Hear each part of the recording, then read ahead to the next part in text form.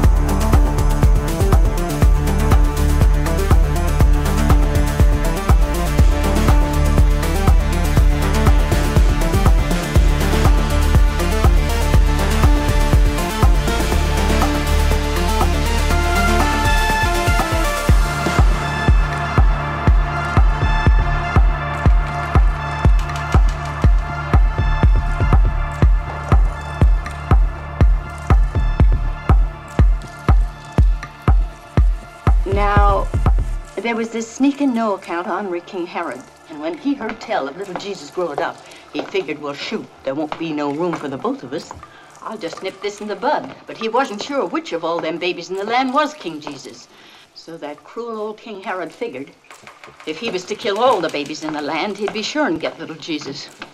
And when little King Jesus' ma and pa heard about this plan, what do you reckon they went and done? They hid in a broom closet. They hid in the porch.